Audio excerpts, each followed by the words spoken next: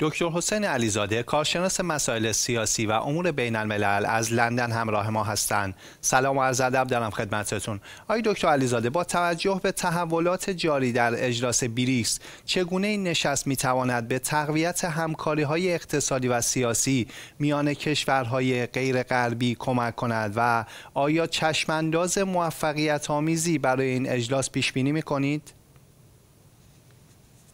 خب چند تا نکته در اینجا وجود داره. نکته اول این که خود بریکس چیست؟ به چه منظور تشکیل شده؟ دوم اینکه روسیه از این اجلاس چه اهدافی رو داره پیش می‌بره؟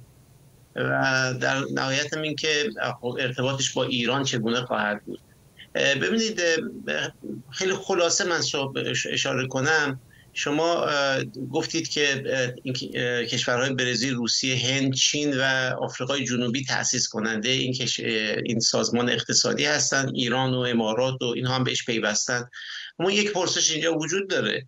اگر کشور به بزرگی چین در اینجا حضور داره هند در اینجا حضور داره چرا شما یک کشور اروپایی رو در اینجا نمی‌بینید؟ مثلا کشوری مثل آلمان که اقتصاد بزرگی داره فرانسه که اقتصاد بزرگی داره بریتانیا. این رو توضیح از این, از این جهت این رو مطرح کردم که بگم ببینید در واقع بعد از فروپاشی اتحاد جماهیر شوروی خب روسیه اون اهمیت خودش رو از دست داد که 15 کشور رو با اتحاد اتحادیه اتحادیه شوروی بود دیگه. اون از دست خود داشت چین هم الان تحت فشار آمریکا قرار داره. و از طرف دیدم که یک نهاد مالی پولی اتحاد بزرگی مثل اتحادیه اروپا هم شکل گرفته. بخواد وارد اونجا بشن خب روسیه هم کشور اروپایی چرا راش نمیدن در اتحادیه اروپا؟ و ولی وقتی که یه تحریم بخوام بگذارن راحت می‌تونن روی روسیه تحریم بگذارن یا روی چین تحریم بگذارن. اینطور شدش که چند تا اقتصاد بزرگ آمدن گرد هم تا اینکه یک اتحادیه مالی درست کنن. اگر ناتو یک اقتصاد اتحادیه نظامی است الان یک اتحادیه مالی درست بکنن و تدبیری بیاندیشن که خب وقتی سویفت که یک مکانیزم اروپا غربی هستش سویفت رو قطع بکنن شما ارتباط بانکی شما با دنیا قطع میشه. بله. حالا چیکار کنیم که یه چیز مشابه اون رو ما درست بکنیم؟ و ده ها فکر پرسش مشابه این. این شد که ریشه شکل گرفتن بریکس شکل حاصل حاصل آمدش.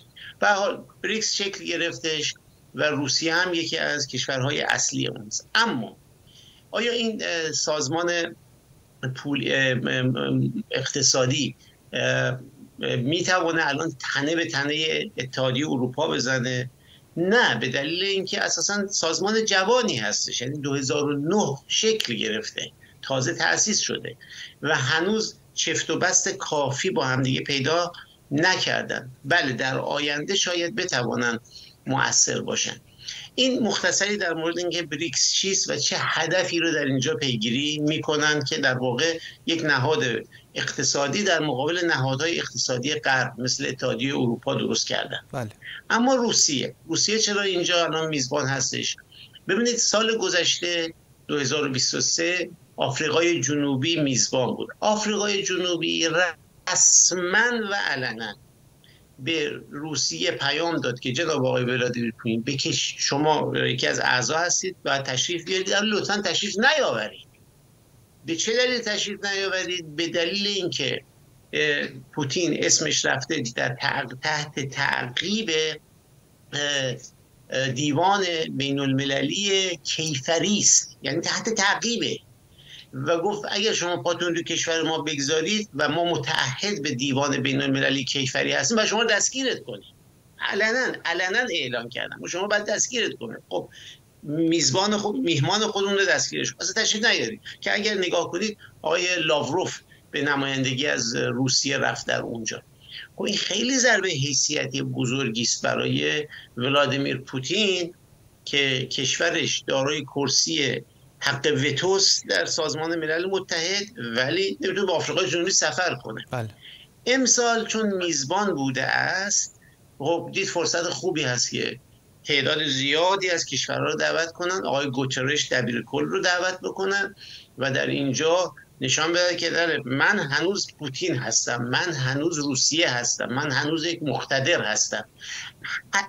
هدف اصلی روسیه از اینکه این همه گرد همایی بزرگی رو دعوت کرده اینکه اون تحقیری که پارسال بهش حاصل آمده بود رو بتونه جبران بکنه. این هدف اول. هدف دوم هم این که به اصطلاح بگه که ما می‌توانیم به سیاست اقتصادی خودمون رو داشته باشیم بله.